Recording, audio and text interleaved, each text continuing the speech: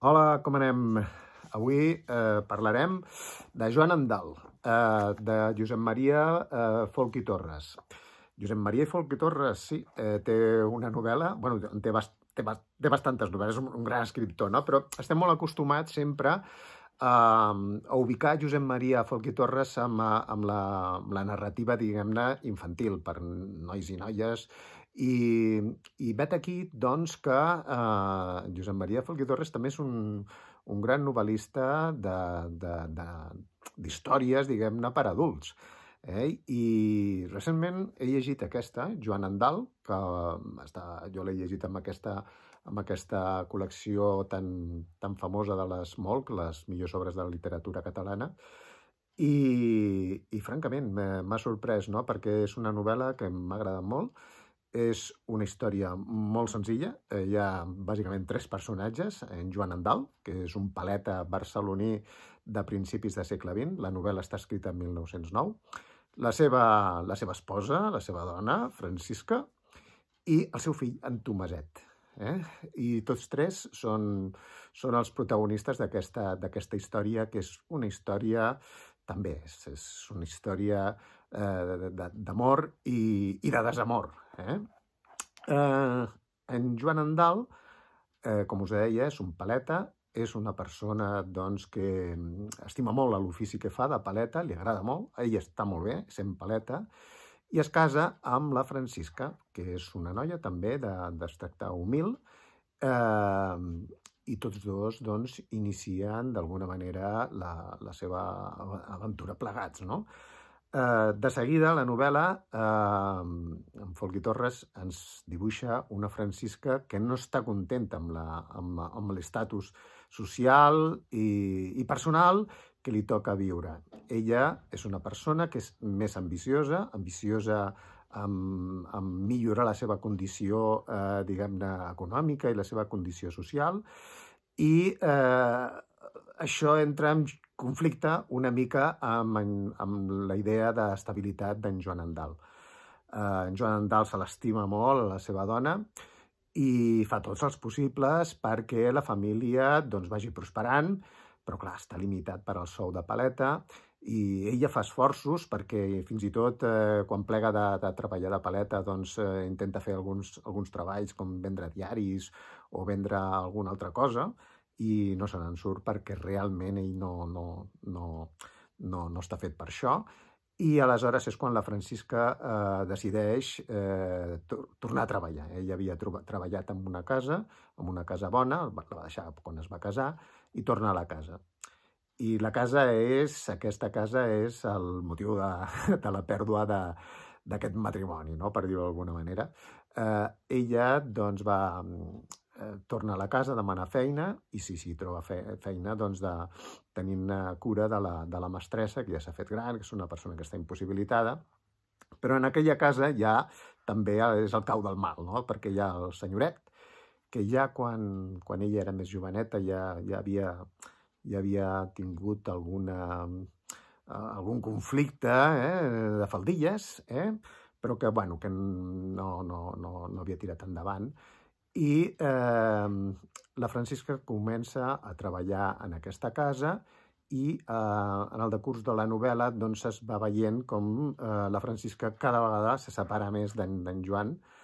Eh, tenen un fill, com en Tomaset, eh, que és un nen molt callat i molt introvertit, i la Francisca, doncs, eh, cada vegada, com us deia abans, eh, si aboca més a la feina, cada vegada si està més hores, en Folgui Torres, d'una forma molt subtil i eh, ens, ens, ens està donant a entendre que la, la feina de la Francisca va més enllà de, de tenir-ne cura de la mestressa, de la mestressa i que, que en realitat doncs, hi ha el, el senyoret doncs, que d'alguna manera eh, li està exigint eh, alguns, alguns favors, per entendre'ns, alguns tributs, que fan doncs, que eh, si la Francisca doncs, vagi aportant més recursos a, a la casa, a la família, en Joan Andal tot això ho veu com un testimoni que ell eh, voldria, sospita, però talla les sospites perquè creu fermament que la seva dona doncs, eh, li és fidel i que està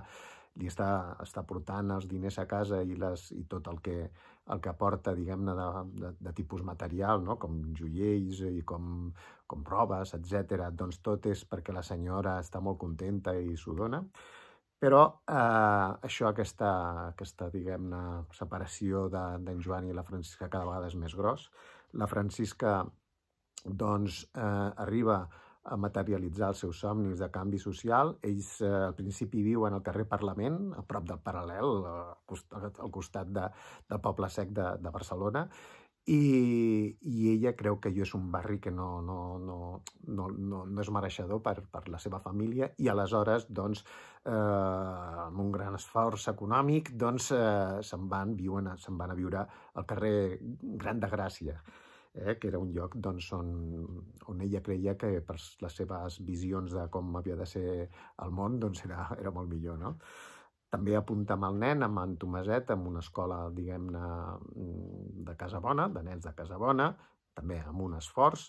Clar, és, és un esforç econòmic que, eh, en principi, eh, ve de la senyora, però que en realitat, doncs, eh, en Folqui Torres, doncs, eh, clar, en aquella època no es podia ser molt explícit amb això, però vaja, mm, va fent una narració molt, molt interessant i, bueno, un lector mínimament hàbit, doncs ho veu de seguida, que aquí ja, ja marro, no? La novel·la és una novel·la curta, són 150 pàgines, eh, es llegeix molt ràpid, està escrita molt bé, és amb un català preciós, un català ple de, de d'un lèxic doncs, molt ric i d'unes expressions magnífiques. L'estil s'emmarca dintre del que seria la novel·la modernista i, i, i és, és una novel·la doncs, això que està molt ben tramada. El, um, en Folqui Torres doncs, s'aconsegueix eh, cridar l'atenció del lector i, i vaja, capítol rere capítol, doncs, eh, res, te, te la llegeixes de seguida, perquè és molt interessant. És una novel·la aconsellable. Eh? Us he dit que jo l'he llegit amb aquesta edició de les millors obres de literatura catalana. Mm, em penso que no hi ha eh, edicions eh, recents, però vaja, eh, és fàcil de trobar en una llibreria de, de vell i jo us l'aconsello, eh? És una, una novel·la que, que, res, que es llegeix en una tarda i que, que us pot eh, ajudar moltíssim a entendre com, com era la Barcelona de principis de segle, de segle XX, eh, el món del, del proletariat, com, com vivien les famílies del proletariat i també era és, eh, també una explicació de lo difícil que era doncs, sortir d'aquesta aquest, situació, d'aquest ascensor social que ara també comencem a trobar a faltar, doncs eh, era molt difícil i que si algú volia ascendre com la, eh, ascendir, vaja, com la, com la Francisca, doncs ho havia de fer d'una forma truculenta, no? I, i realment eh, Folqui, Folqui Torres també ens pinta molt la, la, la, la figura d'en Joan Andal com una persona doncs, que, que era molt feliç, però aquesta ambició de la seva dona doncs, el, el portarà al final doncs, a, a una infelicitat i a una situació tremenda. Bé, és, és una novel·la doncs, del tot aconsellable i, i crec que, que en gaudireu molt llegint-la. Doncs vinga, ànims i fins a la propera.